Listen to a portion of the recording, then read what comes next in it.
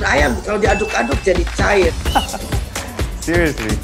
Diaduk kayaknya ya.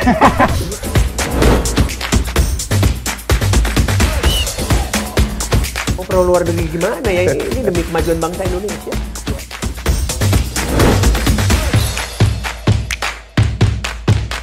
isu kebangkitan uh, PKI ini uh, dihentikan.